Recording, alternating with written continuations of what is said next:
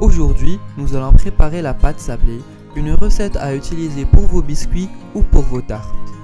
Dans un bol, placez le beurre pommade, ajoutez-y le sucre glace et la poudre d'amande en les tamisant.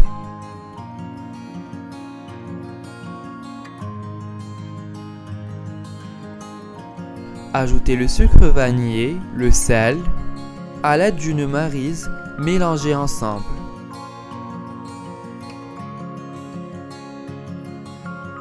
Ajoutez l'œuf et mélangez jusqu'à ce que vous ayez une préparation homogène. Ajoutez la farine et mélangez juste ce qu'il faut pour obtenir une pâte homogène.